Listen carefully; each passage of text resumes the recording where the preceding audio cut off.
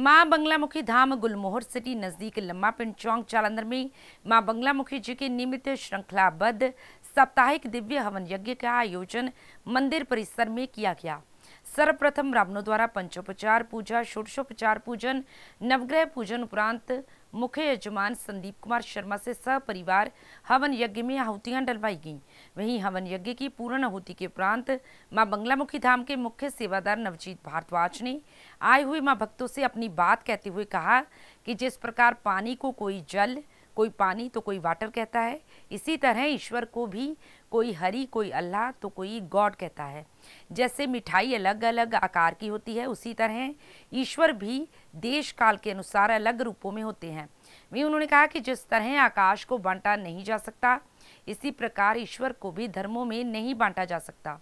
इस अवसर पर रोहित भाटिया, अमरेंद्र कुमार शर्मा, राकेश प्रभाकर, समीर कपूर, बाबा जोशी, अशोक शर्मा, नवदीप, उदय, अजीत कुमार, संजीव, सलिल, दिशांत शर्मा, राकेश महाजन, डॉक्टर मुकेश गुप्ता, पूनम प्रभाकर, बाबा खन्ना, सरोज बाला, रजनी, रिंकू सैनी, यीशु वर्मा, जगदीश प्रताप, संजय, सोनू छाबड़ा, निखिल छाबड़ा, अवतार सैनी, गौरी, केतन शर्मा, बिलक्षय चुग, सौरभ, गुरप्रीत सिंह, मुनीश, रवि हेमंत, प्रिंस, अभिषेक भनोट अमित कोहली सुनील जोगी सहित भारी संख्या में भक्तजन मौजूद रहे वहीं हवन यज्ञ उपरांत विशाल लंगर भंडारे का आयोजन भी किया गया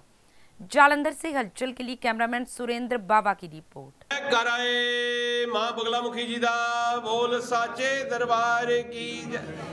ਜੈ ਮਾਂ ਬਗਲਾਮੁਖੀ ਜੀ ਅੱਜ ਮਾਂ ਬਗਲਾਮੁਖੀ ਜੀ ਦੇ ਸਿੱਧ ਸਥਾਨ ਜੋ ਕਿ ਪੰਜਾਬ ਦੇ ਵਿੱਚ ਪਹਿਲਾ ਮੰਦਿਰ ਮਾਂ ਬਗਲਾਮੁਖੀ ਜੀ ਦਾ ਹੈ ਗੁਲਮੋਰ ਸਿਟੀ 'ਚ ਸਥਿਤ ਇਸ ਮਾਂ ਬਗਲਾਮੁਖੀ ਧਾਮ, ਜਿਹੜਾ ਲੰਮੇ ਪਿੰਡ ਚੌਂਕ ਦੇ ਵਿੱਚ, ਦੇ ਨਜ਼ਦੀਕ ਸਥਿਤ ਹੈ। ਮਾਂ ਦੇ ਮੰਦਰ ਦੇ ਵਿੱਚ ਅੱਜ ਜਿਹੜਾ ਸ਼੍ਰਿੰਖਲਾਬੱਧ ਦਿਵਯ ਹਵਨ ਯੱਗ ਦਾ ਆਯੋਜਨ ਕੀਤਾ ਗਿਆ। ਸਾਰੇ ਮਾਂ ਦੇ ਭਗਤਾਂ ਨੇ ਦੂਰੋਂ ਦੂਰੋਂ ਆ ਕੇ ਮਹਾਮਾਈ ਦੇ ਚਰਨਾਂ ਦੇ ਵਿੱਚ ਅਰਦਾਸ ਬੇਨਤੀਆਂ ਕੀਤੀਆਂ ਔਰ ਮਾਂ ਕੋ ਕੁਸ਼ਲ ਖੇਮ ਮੰਗੀ। ਇਸ ਦੇ ਨਾਲ ਨਾਲ ਸਾਡੇ ਸਾਰੇ ਸੇਵਾਦਾਰਾਂ ਵੱਲੋਂ, ਮਾਂ ਬਗਲਾਮੁਖੀ ਧਾਮ ਟਰਸਟ ਵੱਲੋਂ ਇਹ ਕਰਵਦ ਪ੍ਰਾਰਥਨਾ ਹੈ 31 ਮਾਰਚ 2024 ਦਿਨ ਰਵੀਵਾਰ ਨੂੰ ਆਪ ਆਓ ਆ ਕੇ ਮਹਾਮਾਈ ਦੇ ਦਰਬਾਰ ਤੇ ਹਵਨ ਯੱਗ 'ਚ ਸ਼ਾਮਲ ਹੋਵੋ, ਜਿਹੜਾ ਮਾਸਿਕ ਹਵਨ ਯੱਗ ਹੈ। ਤੇ ਮਾਂ ਦਾ ਆਸ਼ੀਰਵਾਦ ਪ੍ਰਾਪਤ ਕਰੋ। ਜੈ ਮਾਂ ਬਗਲਾ ਮੁਖੀ ਜੀ। ਜੈ ਮਾਂ ਬਗਲਾਮੁਖੀ ਜੀ। ਅੱਜ ਮਾਂ ਬਗਲਾ ਮੁਖੀ ਧਾਮ ਜੋ ਕਿ ਗੁਲਮੋਰ ਸਿਟੀ ਲੰਮਾ ਪਿੰਡ ਚੌਂਕ ਦੇ ਕੋਲ ਸਥਿਤ ਹੈ, ਉੱਥੇ ਮਾਂ ਦੇ ਭਵਯ ਮੰਦਿਰ ਦੇ ਵਿੱਚ ਜਿਹੜਾ ਵੀਰਵਾਰ ਨੂੰ ਹਵਨ ਯੱਗ ਹੁੰਦੇ ਆ, ਉਸ ਕੜੀ ਦੇ ਵਿੱਚ ਅੱਜ ਵੀਰਵਾਰ ਦਾ ਹਵਨ ਯੱਗ ਕੀਤਾ ਗਿਆ ਔਰ ਉਹਦੇ ਵਿੱਚ ਭਗਤਾਂ ਨੇ ਆ ਕੇ ਸਵੇਰ ਤੋਂ ਲੈ ਕੇ ਲਗਾਤਾਰ ਜਿਹੜਾ ਉਹ ਮਹਾਮਾਈ ਨੂੰ